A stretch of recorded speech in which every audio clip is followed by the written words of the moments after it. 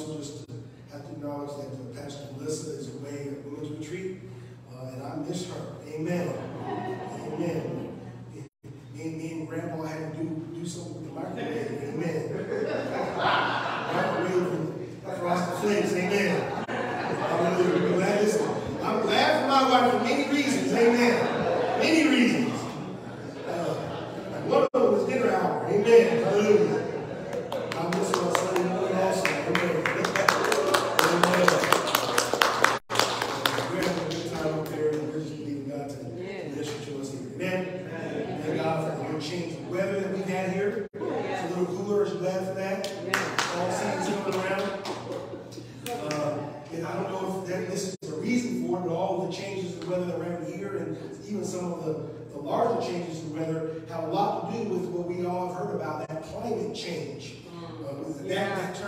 Climate change, we've all heard about uh, for a long, long time, several, uh, probably several decades now. It's been more and more of a, of a discussion. And uh, for those of you that don't know, climate change refers to that long-term shift in global temperatures and weather patterns. They call that climate change, or physical climate change, right? Um, and whether or not uh, you believe in that, or what the extent of that, or the causes of that might be, I'll leave that up to you. Um, but in spite of that, uh, there's been something that we call climate change. But in the last couple of years, we've experienced a different kind of climate change. There's been a cultural climate change. Have you felt that? Amen. Have you noticed that climate change in your experience? Where it seems like there seems to be a lot more uncertainty where we used to be certain on things. Because of the current climate, there's a lot more hostility, it seems, uh, than there used to be. Because of the current culture and the climate change that we're experiencing in culture. Even divisions have been on the increase. But in spite of all those changes, in spite of the uncertainty and the divisions and the hostility, and the supply chain breakdowns, all those things, can I just tell you on the first Sunday of October that God is still sovereign?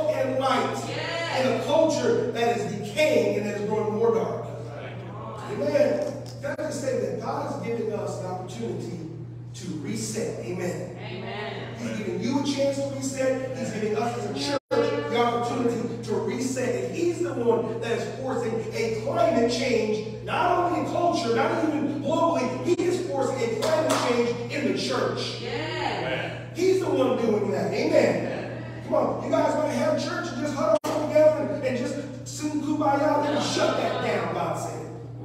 That was never my intention. I'm going to force the climate change. I'm going to force to push the reset button. Amen. Hallelujah. Where old ways of doing things are not good enough. I didn't say some of the old things are not good. I mean, the Word of God is still our anchor. Jesus is still the only Savior. Amen. But the way that we get that message out, the way that we live that has to change in this climate change culture. Amen. Praise the Lord.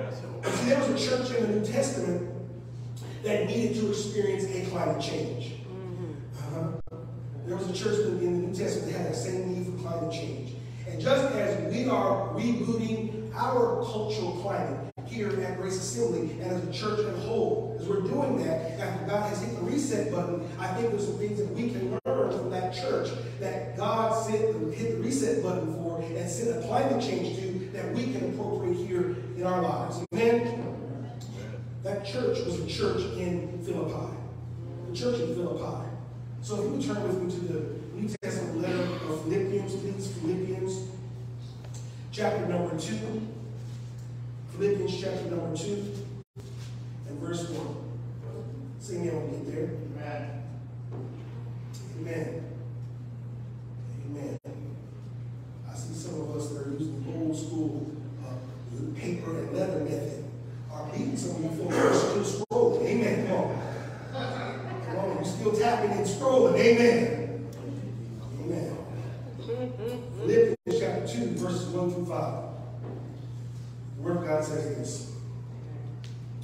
Therefore, if you have any encouragement from being united to Christ, if any comfort from his love, if any common sharing or fellowship in the Spirit, if any tenderness and compassion, then make my joy complete, Paul says, by being like-minded, having the same love, being one in spirit and one in mind. Do nothing out of selfish ambition or vain conceit.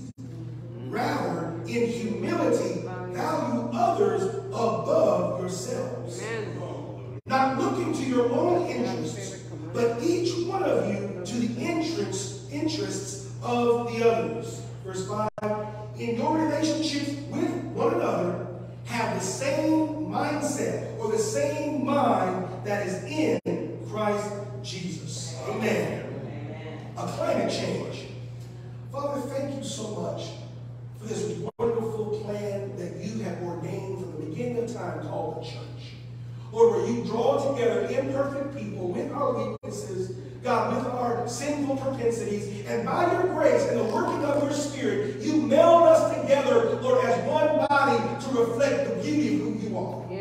And I just pray, Lord God, that whatever our individual climate is in our minds right now, whatever's going on there, whatever's going on in our thoughts, our emotions, God, and whatever has been in the past, even in this body, we ask that you would set the temperature, God. Yes, Lord. That you would set the climate, Lord, in our minds, our hearts, God, and in this church body. We thank you for it in Jesus' name. Everybody said? Amen. Amen. Now, Paul is talking to the church in Philippi, which you can go back and if you just want to do a little bit of background. You can look at Acts chapter 16, uh, verse, verses 11 and following. It gives the account of Paul coming to Philippi and, the, uh, at the instruction and leadership of the Holy Spirit and gathering a community of Jesus followers there, and how uh, that church began to grow up in this Roman colony full of uh, Roman soldiers and former Roman soldiers that were very proud of their heritage, their They were very patriotic for the city and the, and the, nation, the uh, empire of Rome. They were very patriotic. And so because of that patriotism, patriotism um, it brought a little problem for the church there in Philippi when they started to talk about there being another king, and his name was Jesus. It brought a little conflict with those that were the, the inhabitants of Philippi when they talk about Jesus as king. And, and it, it caused them to come into conflict with them. When they started to talk about the fact that they were citizens of another city or another country, another kingdom, they began to uh, cause conflict with this church. And so because of that, there was opposition, there was hostility, and there was persecution. And because of that, these believers, they were suffering. Come on, they were being opposed and being pushed out as outcasts in the, in the uh, margins of the culture. But Paul comes along and he says, not only are you guys allowing the opposition on the outside to infiltrate you, but there has been some problems you guys are having on the inside. Somebody say on the inside.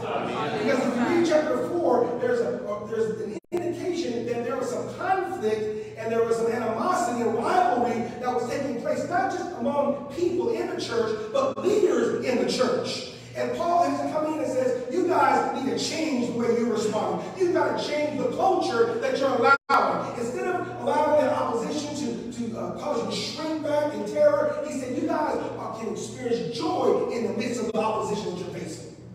And instead of allowing this conflict and this division to continue, there could be and should be unity among you.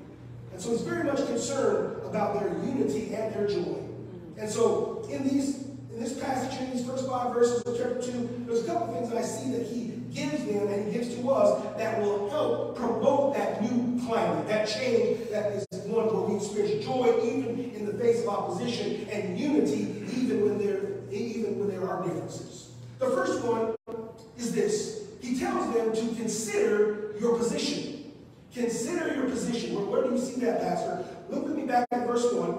He says, Therefore, if you have any encouragement from being united with Christ, if there's any comfort from his love, if there's any fellowship or common sharing in the Spirit, if any tenderness and compassion, then make my joy complete. Remember, Paul's goal here is for them to have joy in opposition and have unity in the face of division. In division. And the way he does that, look at this, is that he focuses their attention on four graces that are the result of the fact that they are in Christ Jesus. Notice that. You know, he gives us those right here in these verses. He says, if you have any encouragement, if you have any comfort of his love, if there's any fellowship or common sharing in the Spirit, and if, if there's any tenderness, tenderness or compassion, then make my joy complete. What is saying? He is not saying that there is any question or any doubt as to whether or not we should have uh, encouragement, or whether or not we have any comfort in his love, or any uh, fellowship with the Spirit, or tenderness and compassion. He's really saying, because you have these things. Come on, follow me.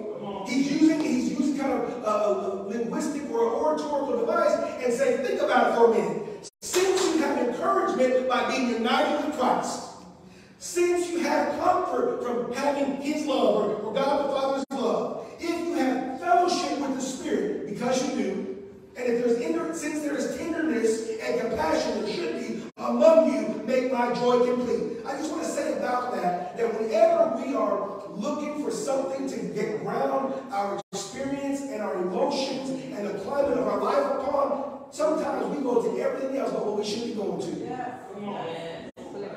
Let me just ask you for a moment. What would encourage you today? What would encourage you today?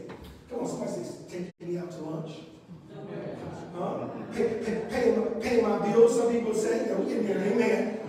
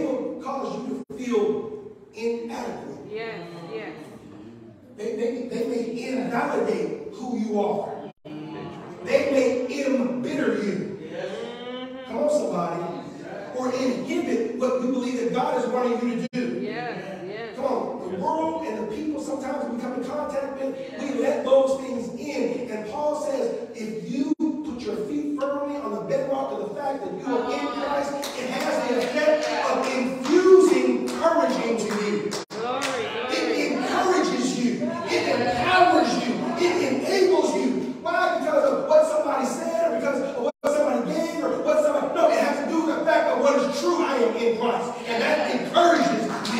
Amen. Consider your position. Amen. Consider your position. Amen. You are in Christ. Another thing he says about the position, he says, since, since there is comfort from his love, or comfort in his love. And I'll just go ahead and tell you, I believe he's talking about the love of the Father. Because in these verses here, you'll notice there's sort of a, a triune um, uh, intertwining together of the role of Father, Son, and Spirit, all that work together in the life of the believer. Further on in the same book, he said, For it is God who works what? In you, both the will and the do of his good pleasure. Right? And so he's talking about the Father's love. Romans chapter 5 and verse 5, it says, And hope does not put, uh, put us to shame, because God's love, somebody say God's love. God's love has been poured out into our hearts through the Holy Spirit who has been given to us. Hallelujah. Praise God. That is saying, no matter what goes on around you, you find comfort in His love. Come on. What doesn't happen or does happen doesn't change the fact that I am loved by God Almighty. Come on. Listen, don't pass by that just because you've heard it so many times in church. The one who spoke the universe into, into being. The one who sits on the throne that we, that we sang about this morning and controls and rules sovereignly over everything in the universe. That one loves you. Amen.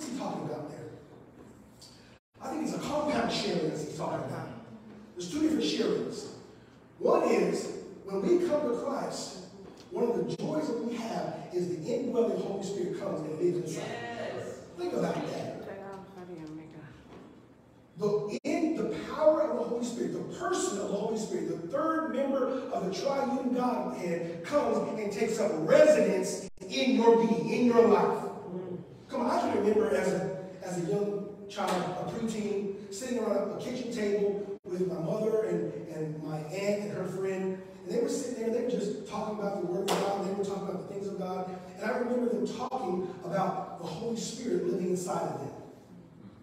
And I can remember as, as, a, as a preteen looking at them intently. Because I began to mull that thought over. Come on, travel with me for a moment. I began to mull that thought over because I wanted to look at somebody that had the third member of the Godhead living in them. Yes. Hallelujah. What do they look like? Because that is an awesome reality. To think that God inhabits your mind and your will and your desires and your emotions. He somehow dwells in that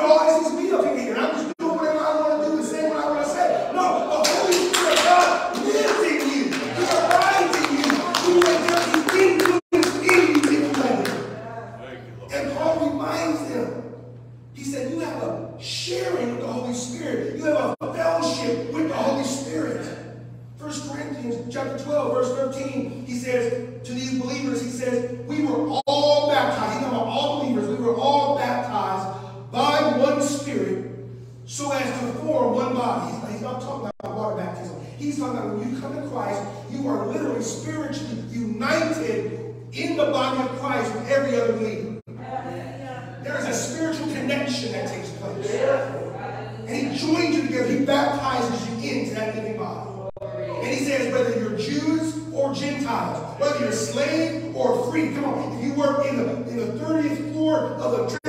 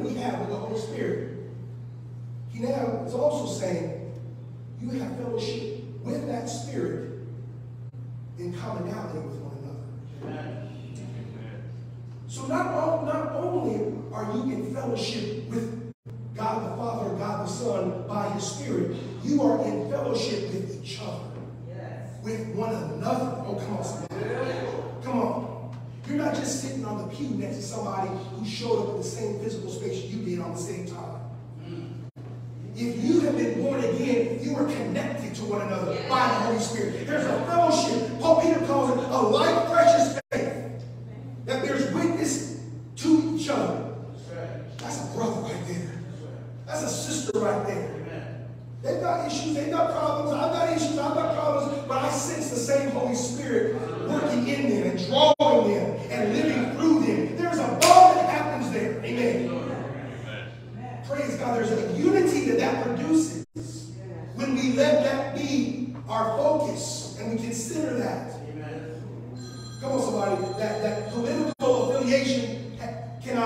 touch that. Amen?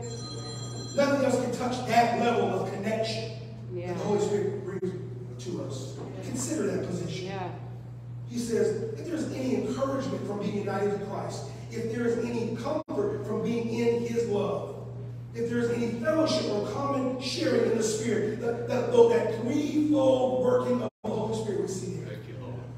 And then he gives one more grace that is ours. He says also, tenderness and compassion. Now, he doesn't make any reference to the Trinity or deity there. He's talking about tenderness and compassion among us as brothers and sisters in the family. One another. Mm. Tenderness and compassion. Hmm. Living in relationships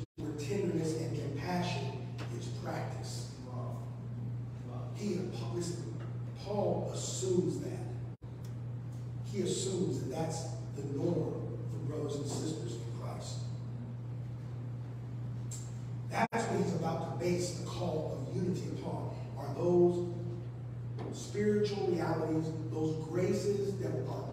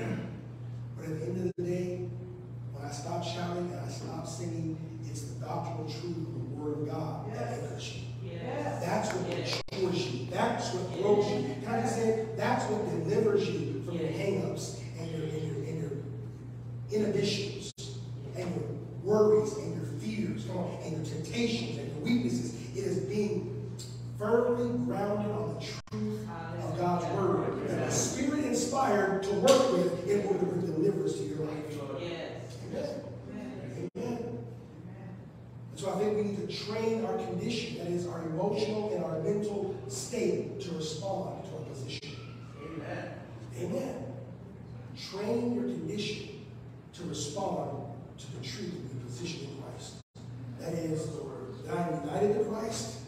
I am loved by God the Father. I am and in fellowship with the Spirit. Listen, and I am also in fellowship with my brothers and sisters. Amen. That was one thing. Secondly, real quickly. Secondly, related to that, not only do we have to consider your position, we also remind us to connect to God's people. Connect to God's people. Look with me at verse number two. Paul says, Make my joy complete. How, Paul? By being like minded, by having the same love, by being one in spirit and one in mind. Do nothing out of selfish ambition or vain conceit, but rather in humility value others above or prioritize others above yourself. Not looking to your own interests, implied only, but each of you should look to the interests, interests of the others. Amen? Amen. Come on, if we're going to change the climate, then we have to connect to one another. Amen. We're not just marbles bouncing around on a Sunday morning in a sanctuary. Amen. But we have to connect to one another. Amen. Oh, come on. I know you don't like them, but you got to connect to them. Amen. Come on. I know they, they don't dress the way you dress. Amen. They don't like to eat the places you like to eat. Come on. But they're family. Amen. Come on. They're family. And the same Holy Spirit that lives in you lives in them. And so God says we've got to have the same mind, the same attitude. Amen. He's not saying that we have to think exactly alike on all topics. Amen. He's not saying that. Amen. Come on, we, we found that out in March of 2020. Come on, somebody. In March of 2020, when they started talking about mandated masks and shutting down the church, man, there, there, come on, there were some people that were saying, look, we're not going to let, we're not going to let the government tell us what to do. Bless God, Pastor, open up and sing louder and, and spit on people while you're singing. Just to prove the point, you know. There's other people that say, no, we, we, we need to follow the, the authorities and we need to demonstrate love. And there's some people, man, we can't wear masks. God's not in that. You know, God is not wanting us to do that. And other people say, well, God wants to. Listen, there are, there are differences on both sides. Amen. Come on. And continue to be differences on both sides. And the one thing that I say that from the very beginning is that God is less concerned with which side you're on and the attitude you have towards the other side. Come on. You got to demonstrate charity or love, amen, towards one another, amen. Come on, the mask wearers, you got to love the non-mask wearers. Come on. Yeah. Yeah. And non-mask wearers, you got to stop accusing the mask wearers. Come on. Yeah. Oh, I'm getting in trouble here, aren't I? Vaccinators and non-vaccinators. Come on. You're going to have all of that. And Paul says that's the secondary issue. The real issue is that you are like-minded. You have the same attitude of humbling yourself for the benefit of another. That is something that we as a church have the opportunity to demonstrate to a world that is bitterly at war with each other over these, these things. Amen. Have you seen super, supermarket fights? Come on. But as a church, he's saying, you guys have the same spirit. Come on. Let your goal be to love one another. Love those that are different from you. Amen. To make the cause of Christ the higher priority. Amen. Amen. We're not a cult. It tells everybody to think the same way, do the same thing. But we do have bottom line priority virtues and love for one another that puts the needs of somebody else above my own. That's bottom line. Amen, my brother. Come on. That's part of changing the culture of our hearts and the culture of the church. Have the same mind. Have the same attitude. Do nothing out of selfish ambition. Ooh, mm. Selfish ambition. Mm. That's what I mm. You can't always see selfish ambition. Mm. Paul uses that phrase or that idea five, five other times. One is in Romans chapter 2, those of you guys that like to study. Mm-hmm. Romans chapter 2, verse 8, 2 Corinthians chapter 12, verse 20, Galatians chapter 5, verse 20, here in Philippians chapter 2, verse 3, and there's an interesting one in Philippians chapter 1, verse 17, where he says that there were some people that were preaching Christ. Hear me. They were preaching Christ motivated by selfish ambition. Mm. He's talking to preachers. Oh. Preachers that are in it for their own reputation. Preachers that are in it for their own climbing of the ecclesi- ecclesiastical ladder. For reputation and popularity. Paul says, I recognize that out there's out there people who are preaching Christ out of a motive of selfish ambition. And Paul says, do nothing out of selfish ambition. Amen. Nothing. Don't even preach the gospel out of selfish ambition. Come on. He's I'm glad they're preaching it. But he's but we're, we're selfish ambition is contrary to us connecting to one another. Hallelujah. When we come when we come and we gather together, we're saying, how can I be a benefit? How can I be a blessing? How can I serve? Come on, how can I exalt Christ? Amen. Come on, who's there in the corner that nobody's inviting to lunch? Who's there that nobody else is talking to out on the patio because nobody knows them? Who, who is the one that looks down and they're, and they're, and they're a little bit discouraged? No, we don't, we don't want to we don't get near that because their sorrow might get on me. No, he's saying you are there to out in humility and embrace those, not for your own value, but for the value you can bring to others. Come on, sometimes we only have relationships with people that we think can benefit us. Maybe God put you in that relationship so you can be a benefit to them. Amen. Come on. And I'm gonna mellow just a little bit. I told that to I told that to a husband who gave me a long list of all the things his wife wasn't doing. all the reasons why very, very good. I, didn't argue with her. You may very you may very well be right, brother. Uh-huh. Uh-huh. But I said, what if God put you guys together and what if God brought you into her life to be a blessing and a source of grace and an agent of healing in her life and learn about you, brother? Amen. What if, what if, come on. Come on, we all want reciprocation. I'm not saying this thing is just. I'm not saying that. But what if God wanted you to use this verse in your marriage? Come on, somebody. To not look out for your own interest, but the interest of your wife. He's the one that will reward you when you lay your head down. He's the one that will reward, reward you when you get there. Come on. And that goes both ways, ladies. That's what some ladies will say. Come on, That goes both ways. Maybe you're going to be a blessing and encourage and support him. But certainly here in the church, we're to connect to one another, connect to God's people. Not just for what they do for us, but for what we can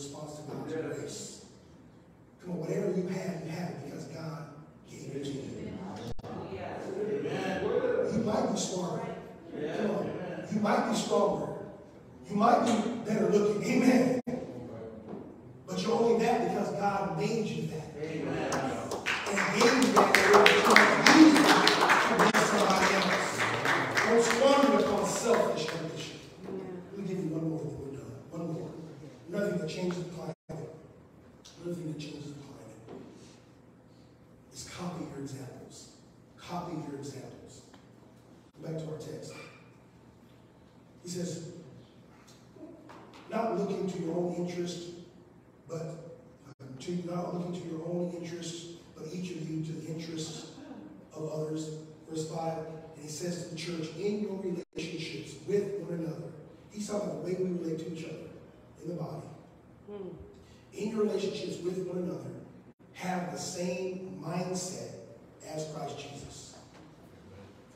And he goes down from verses 6 all the way through verse 11, and he describes that mindset. Wow. Let's look at it. Being in the very nature of God, did not consider his equality with God something to be used to his own advantage. Rather, he made himself nothing by taking the very nature of a servant, being made in human likeness, and being found in appearance as a man, he humbled himself by becoming obedient to death, even death on the cross. Wow. His example was one of humbling himself. He humbled himself by submitting to death on a cross. He submitted himself to the will of the Father in order to bring glory and honor to the Father and to bring salvation to you and I. He emptied himself of the prerogatives of deity. Amen. All of his attributes, all of his authority, all of his nature, he used not for himself, but he used it in order that we might be saved and redeemed this morning. And it cost him. He emptied himself. He humbled himself. He submitted himself. He suffered for us. And Paul is saying, copy his example. Copy that example. Well, he's Jesus. I can't do that. That's why Paul gave us some human examples. If you keep on reading in chapter 2. In verse 19, he gave us Timothy as an example of someone who followed the example of Christ. He says, I hope in the Lord Jesus to send Timothy to you soon, that I also may be cheered when I receive news about you. Verse 20, I have no one else like Timothy who will show genuine what? Concern for your welfare. For everyone looks out for their own interests, not those of Christ Jesus. But you know that Timothy has proved himself. He's not like that. Amen. Because as a son with his father, he has served me in the work of the gospel. I hope, therefore, to send him as soon as I see how things go with me, for I am confident in the name of the Lord, I will come soon. He is saying that I have an example of someone who's living that self-emptying, humble, self-denying, in, uh, submitting themselves to God for others' benefit lifestyle. His name is Timothy. He naturally cares for your welfare more than his own. He cares for your own welfare. Not just Timothy, but he gives another example of Epaphroditus in the following verses. Verse 25, I think it is necessary to send back to you Epaphroditus, my brother, co-worker, and fellow soldier, who is also your messenger, whom you, uh, whom you sent to take care of my needs. For he longs for all of you and is distressed because you heard he was ill. Indeed, he was ill and he almost died, but God had mercy on him, and not on him only, but also on me, to spare me sorrow upon sorrow. Verse 28. Therefore,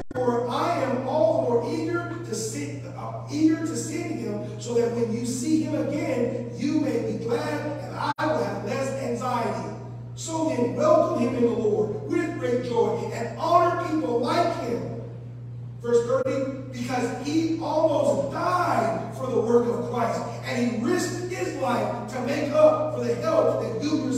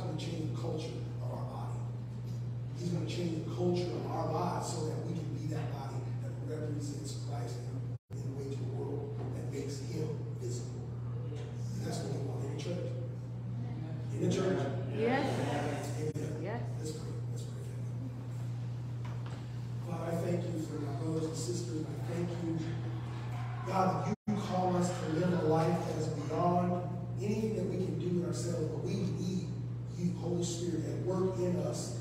Lord God, to Lord, to wrestle down that pride and that selfish ambition.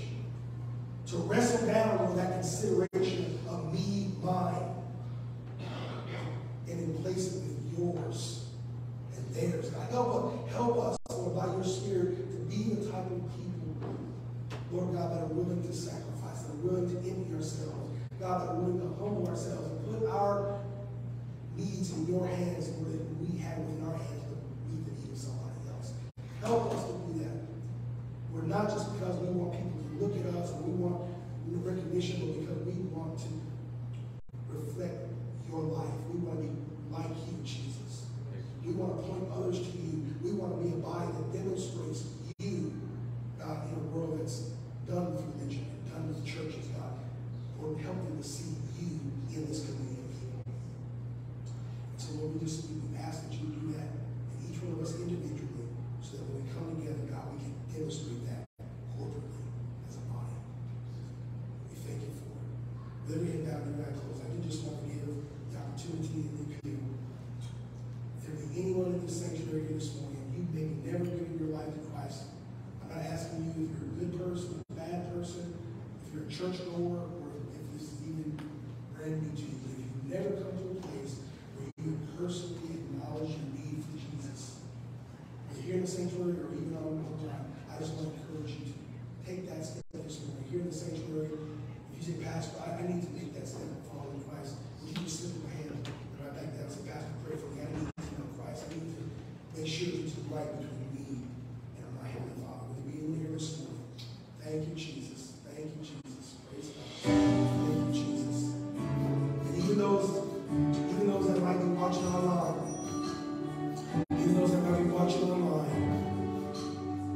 Online, right where you are, God will hear your call. You humble yourself. You say, I've been living for myself and my own interest. But I recognize I want to follow in the steps of the one who laid down his life for me. I want him to fill my life. I want to know his greatness. If you pray this morning, he'll hear you right where you are, where you are this morning. So this morning, I want to lead us in a very simple prayer of repentance and faith to the Lord. Whether you raised your hand this morning or even if you didn't, we're going to give you the opportunity to make that change. Let's pray together. Dear Heavenly Father, Dear Heavenly I come to you this morning I come to you this morning. and I recognize that I need you. I recognize that I need you. Living life my own way,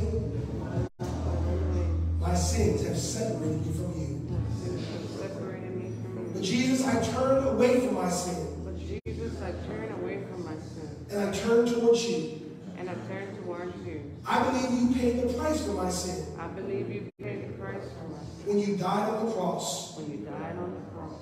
and so I put my confidence in you. So I put my confidence in you. I ask you to come into my life, I ask you to come into my life, cleanse my heart, cleanse my heart, make me brand new, make me brand new, forgive me of my sin, forgive me of my sin. and from this moment forward, From this moment forward, live inside of me.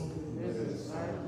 Be my Lord, Be my Lord, be my master, be my master, be my Savior. be my Savior. Thank you for hearing my prayer. Thank you for your In Jesus' name. Amen. Amen. Praise the Lord. Praise the Lord. Let's give it a Amen. Amen. What a miracle can take place in the heart of anybody that prays a prayer like that from their heart. He makes you brand new. And he comes and lives on the inside. Amen. Brand new desires, brand new will. Amen. Brand new power. We thank God for those that maybe prayed that prayer here this morning or even online. Uh, we have a little booklet we call Now What. We want to invite everyone who prayed that prayer. Please contact us. If you're online, you can just uh, email us, graceassembly.la. Um, there's our website, or you you can email us at info at graceassembly.la, info graceassembly.la, and we'll make sure that we put that booklet in your hand. If you're here in the sanctuary, amen, and you pray that prayer, um, please see me after service. We'll make sure that we one those in your hand. Um, maybe it's not for you. Maybe you need one to walk through that with somebody, uh, a new believer or somebody that uh, is, is not clear on, on uh, the gospel and what it all means. You can be the one that leads them to Christ and becomes a discipler in their life. That's what we're all supposed to do. Right? And so we encourage you to, to uh, do that that way. Um, Also, um, just as a reminder, um, we're not, we're not going to be uh, passing the plate here this morning, uh, but you can give to, to the uh, offering box in the back, just drop your offering there. Um, But before we do that, I do just want to remind everybody, um, this Sunday is uh, Brother Camilo Morena's last Sunday before he goes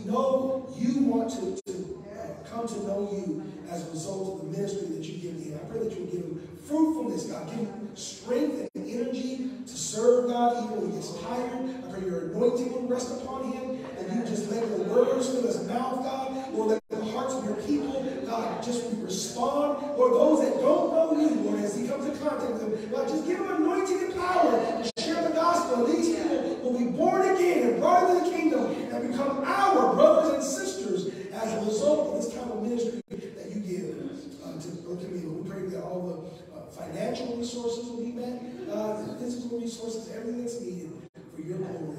And we give you praise for God in Jesus' name. Amen. Amen. Amen. Praise the Lord. Amen. Amen. Amen. Let's tell us real quickly what you're going to do while you're there. Isn't it? Thank us, Grace Assembly, for the trips. This Friday we went to three countries. And the support, thank you, sister. Thank you, brother, for support for money, for uh, for this trip. This trip is, is mission. Mission for all this country, Amen. all the church, all the brother, all the sister. This country is very, very important support and pray and financial economic. With the problem in, the, in this country is very, very important with the support of the church, support for the gospel, and um, they, they are very difficult. They are very difficult for this country. I appreciate it for providing the support for this trip. Thank you and God bless.